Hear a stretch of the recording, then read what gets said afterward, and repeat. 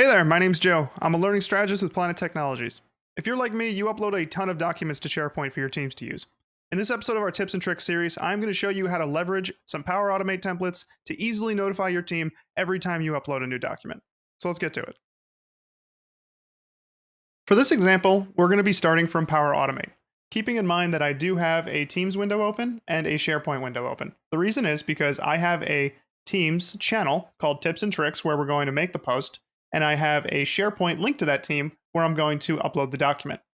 So let's go ahead and go back to Power Automate. And in templates, we're going to look for Teams files, because that's generally what we want. From here, we want to see uh, a template that will notify a team of new SharePoint files. And we can see that there's one uh, right here. So let's go ahead and select this one. All right, we got green check marks. That means good. Let's go ahead and select continue. And now we're going to direct it where to look. So we want this to look inside of our SharePoint library, which is in my case, Automate, and the library name is Documents. And then I'm going to go ahead and select a folder inside of the documents to choose from. In my case, it's going to be shared documents, and it's going to be our tips and tricks. Now we need to point it to a team. And as we saw, I want to point it to my Automate team. And the channel I'd like to point it to is tips and tricks. And let's go ahead and select create.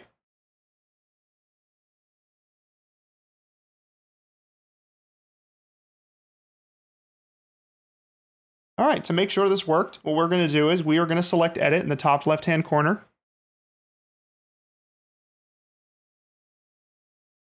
And then we're going to select test on the right-hand corner.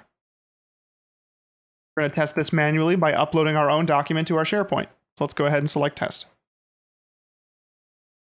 All right, let's perform the action. I'm going to jump over to SharePoint. I'm going to go to new, and I'm just going to create a new document and exit out of it just so it saves real fast. All right, we have our brand new Excel workbook. Let's go ahead and close that. We see that it uploaded to SharePoint. Now let's go ahead and go back to Automate. It says our flow ran successfully.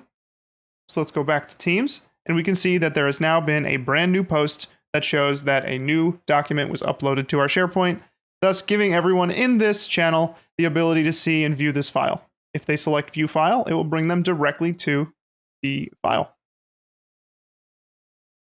And there you have it. I hope this brief glimpse into Power Automate has given you some ideas on how you can make your own automations to make your life a little bit easier. If you did like the video, feel free to like and subscribe to our channel, and we'll see you next time. Thanks so much.